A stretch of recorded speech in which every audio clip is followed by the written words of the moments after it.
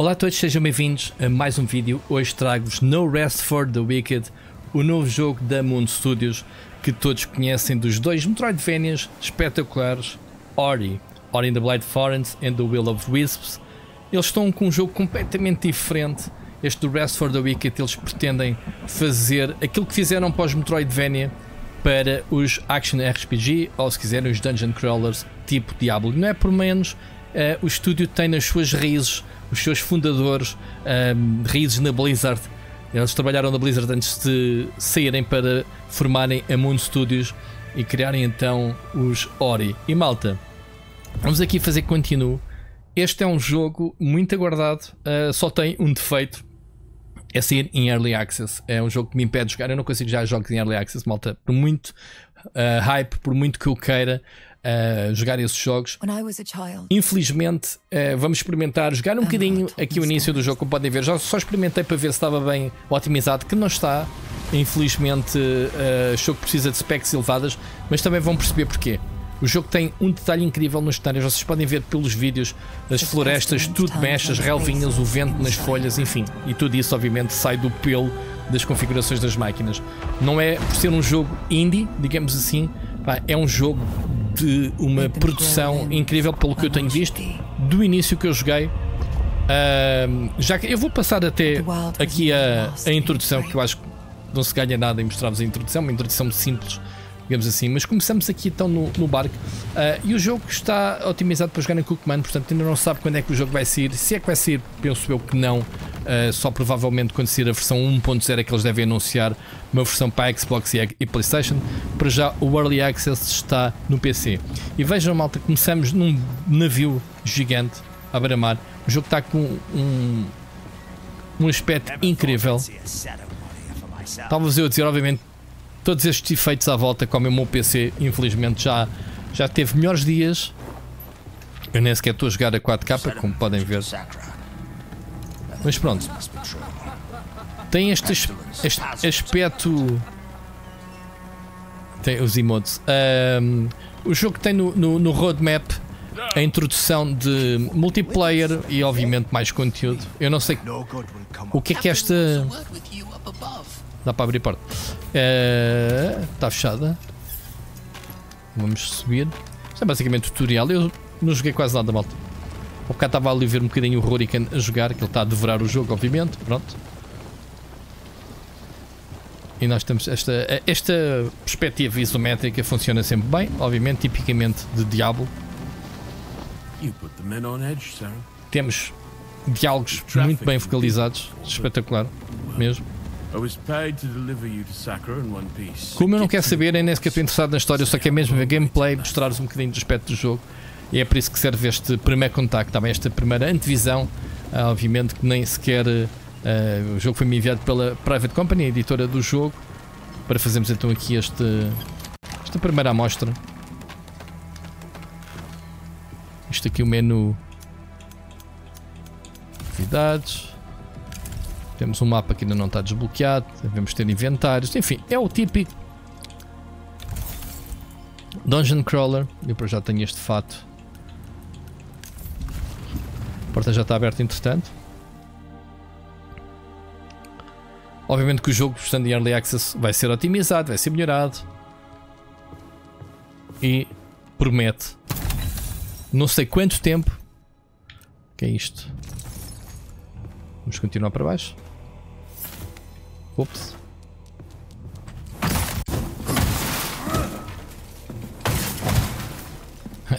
então, eu que gosto pouco de andar a partir coisas no cenário. Bem, eu, eu farto-me carregar, uma pessoa passa de um jogo para o outro, eu tenho com, com vícios. Como é que se apanham as coisas? Ah, esta carninha.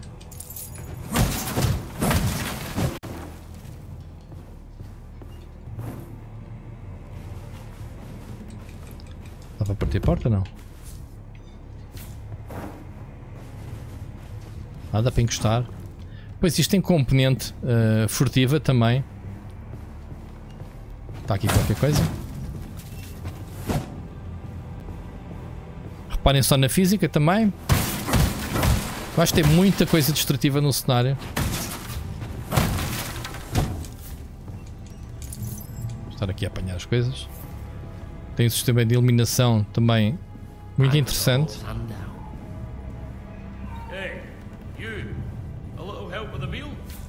O que é que precisas? Isto tem um ambiente negro, já repararam? O que é isto? Ervas. Será os cogumelos que tu queres? Mais. Ah, mas eu não preciso comer agora. Preciso? Pronto, já comi. I'd save it for gentler seas. Else it will come up as fast as it goes down. Pois claro. Tem um cooldown para a comida? Ok. Ficamos a saber então como é que se. Como é que se cura. Quem és tu? És o padre? É o pastor.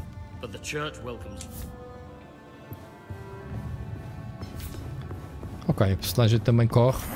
Dá sempre jeito. As animações estão brutais. Tem estes, estes, estes pequenos sulavancos.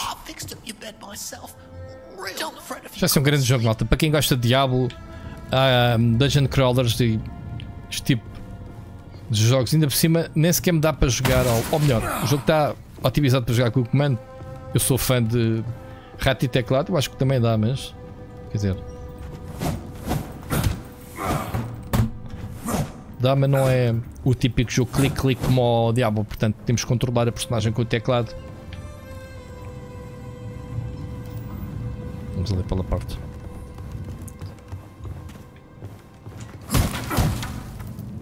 Temos uma. aquela barra de stamina que controla os ataques.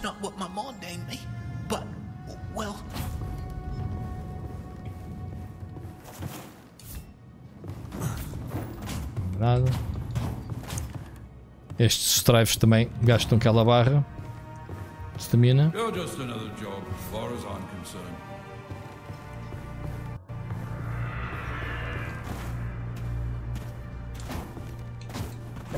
Não salta.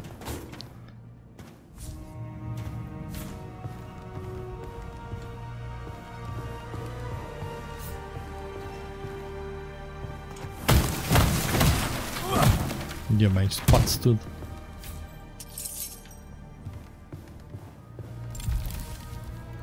Olha, aqui no mapa não deixa ainda ativar. Obviamente que isto é um...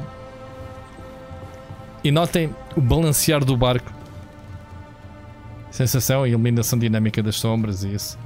Bom, vamos subir aqui então. Find your cabin below and rest for the night.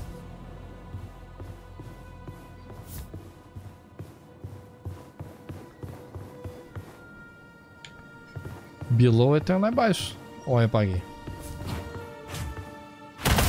Passamos pela cozinha. Então vamos lá abaixo outra vez. Já perdi energia. Será aqui?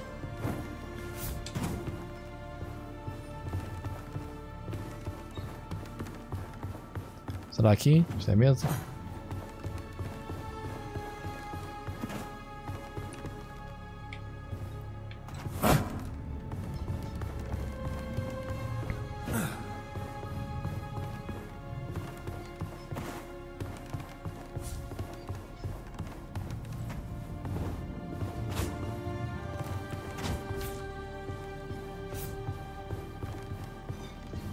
Ok, deve ser aqui. Exato.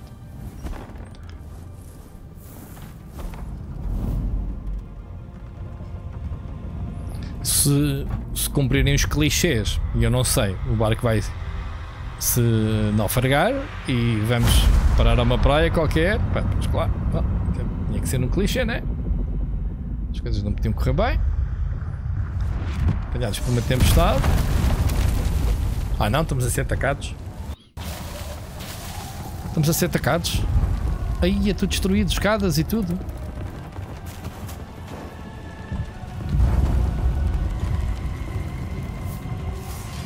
Já temos espada. Aí temos que equipar isto.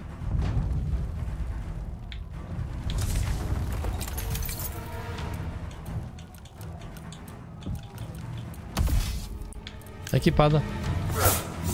Uou! Bem, a agilidade da personagem. Então, apanha isso. Olha uma coisa brilhante, para si que era para apanhar.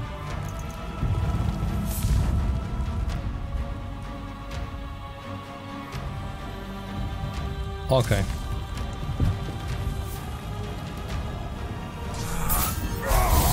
Ok.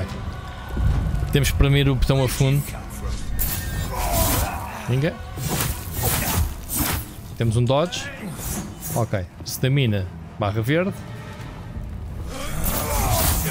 Oi Jesus. Ok. Olá. Como é que é?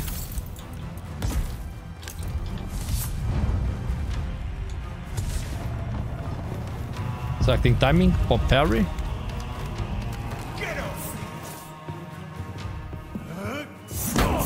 Ok.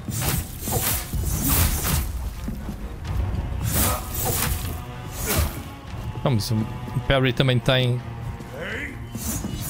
Ok, o parry também gasta...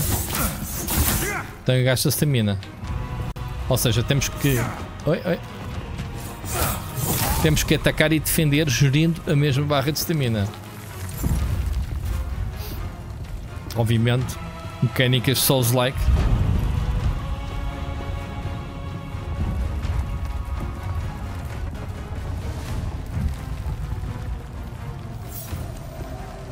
Sprint. Ok, o salto é automático. É basta correr.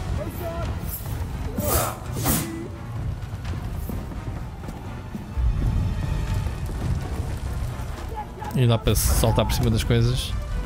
Bastante para mim. O A, diz ele aqui.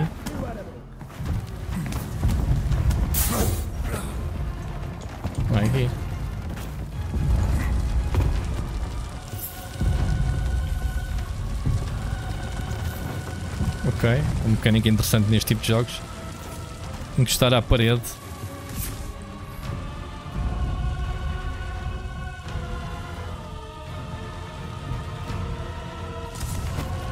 Ah, tem, há o, o defesa e há um parry. Ok, interessante. Ok, é preciso um timing do caraças. Muito complicado. Fácil não é. Quatro comida.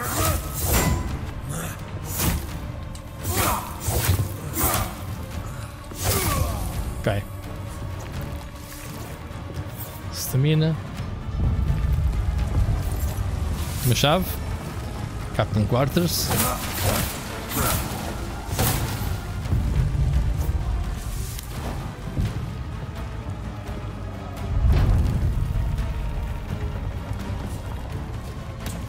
Deve ser a chave, ok, apanhei a chave. Capitão. Sometimes you can use the element of surprise.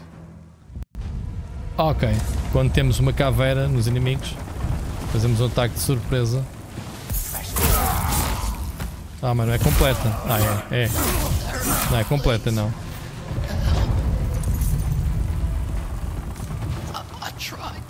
Olha o rapaz, coitado. Foste. E o barco a abanar por todo lado. As animações estão brutais.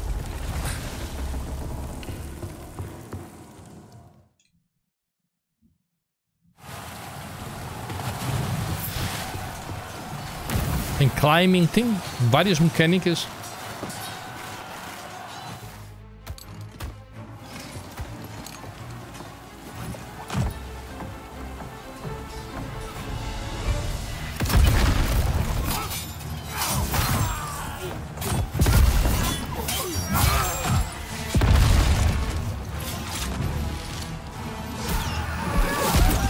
Atacados por piratas.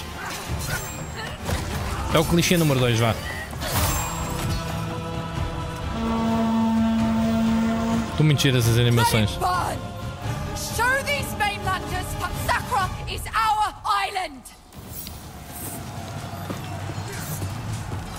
Ok, os nossos amigos têm barras azuis, portanto.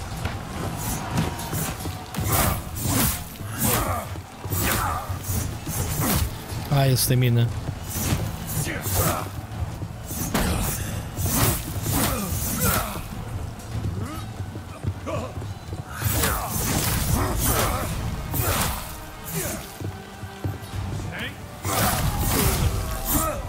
Gerir a estamina.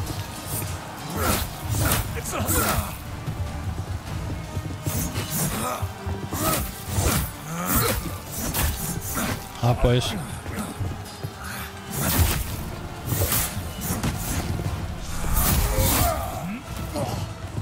Sempre um risco primeiro a fundo. Não temos a certeza que eles vão aproximar. Largamos. Bem jogado. Vem mais.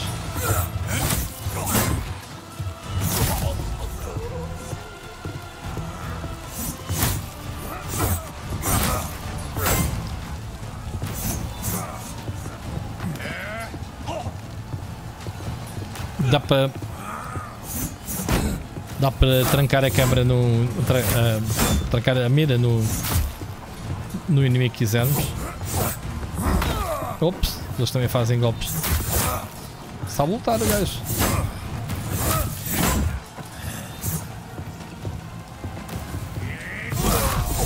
Ok.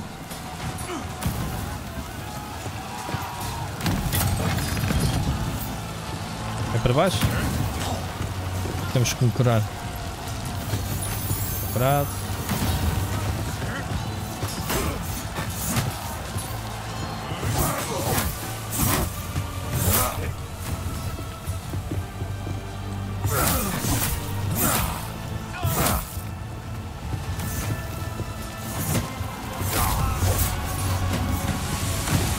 Oi. Está com um aspecto que é qualquer coisa, nem só por isto. Acho que o barco é que já não. Pronto. Nada a fazer.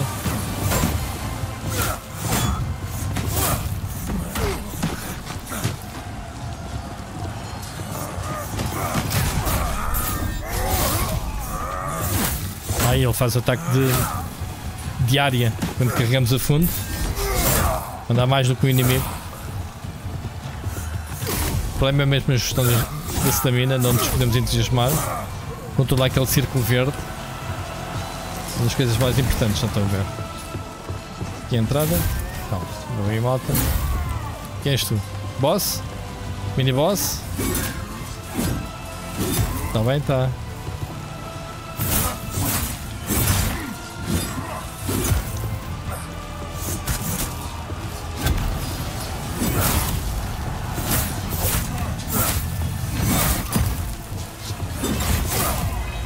Quase. Dá para apanhar o machado? Não dá para apanhar o machado. Ah, falta de realismo. Odessa!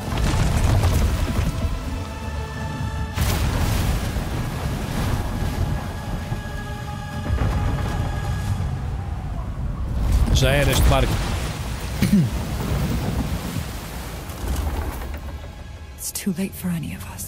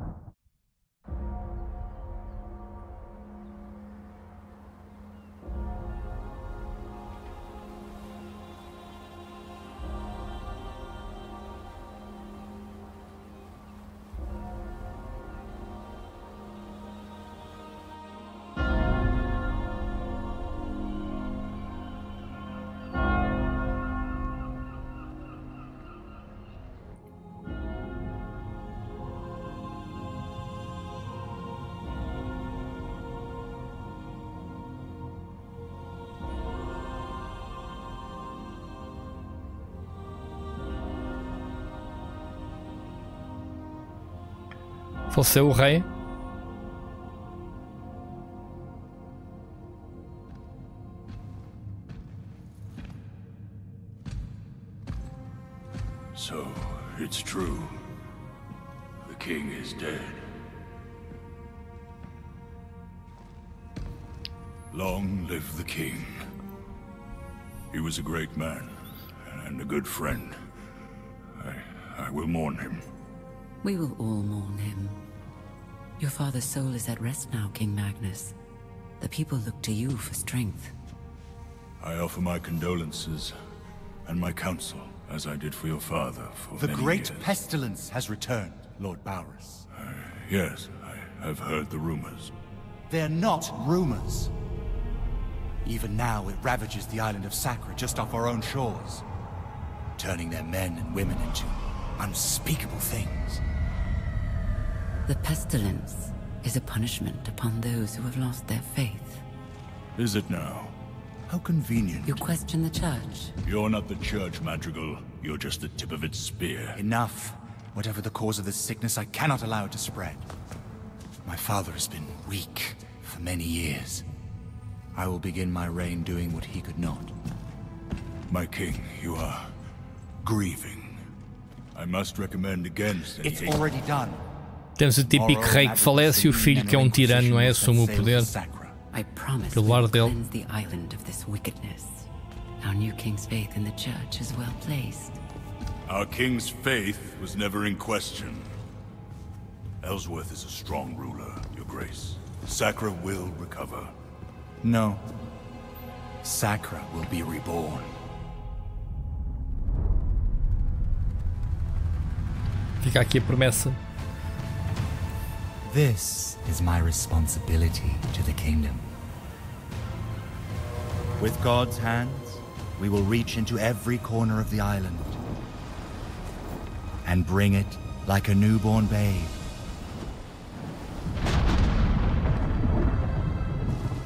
Screaming into the light.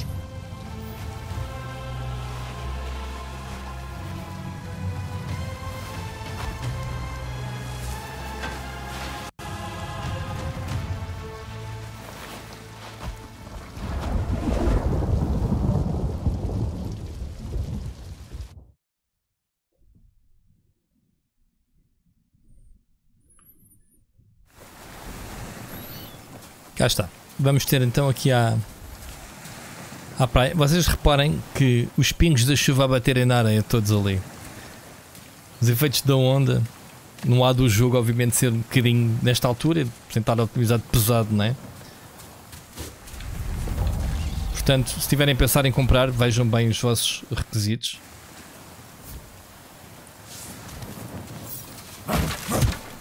Obviamente que eu não tenho nada. Nem espada, nem nada, perdeu-se tudo.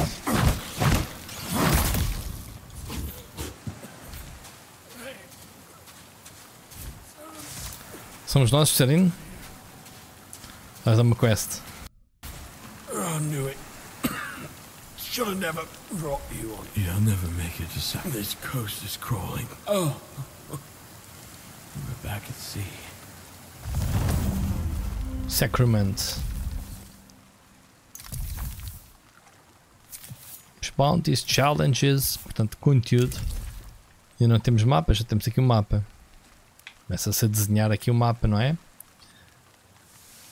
Zoom. Está ali uma quest já em cima, típica. Fog of War, the map reveals your path through the Isola. Ok. Ok, basicamente o que ele está a dizer é que o mapa vai sendo pintando com as nossas abertas, mas vai sendo apagando ao mesmo tempo porque ele depois muda. Temos aqui uma gaivota a comer este tipo. Ah, ele incentiva a revisitar as zonas, portanto, não é um jogo. Precisamos de uma shovel para cavar. Está aqui um tesouro. Aqui a gente vai arranjar uma pá.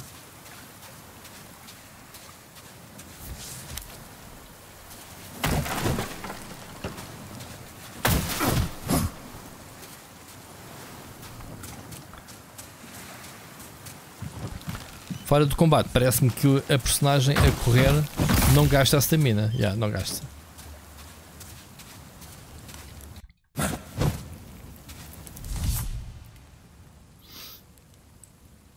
Ok, nas fogueiras vamos poder. Vamos poder cozinhar.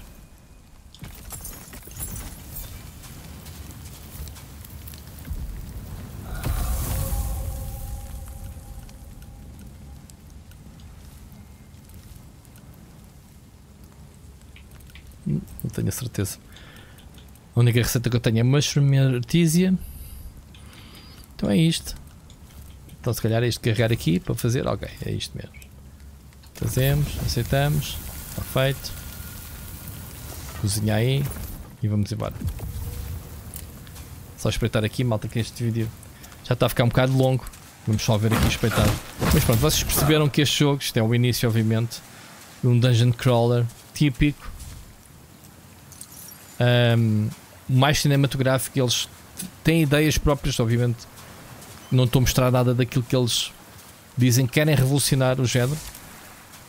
E o desafio, obviamente, é elevado quando há pesos pesados no mercado, como o próprio Diablo 4, não é? E outros jogos, Path of Exile 2, que está aí também quase a sair, ou pelo menos sai este ano. Snake Behind. Uh... Parece mesmo mau wrestling. Ah, pois o gajo tem espada, eu não tenho, não. É? Agora, dá para apanhar a espada dele? Runas. Ok. Depois vi isso.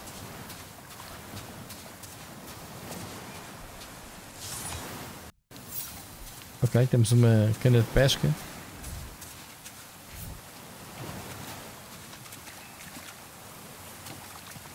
Ah, temos que equipar. Está equipada.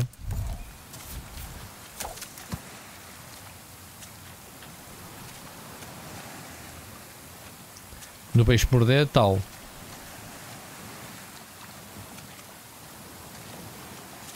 Tal. Raw Carp Ingredients. Apanhei sim, senhora.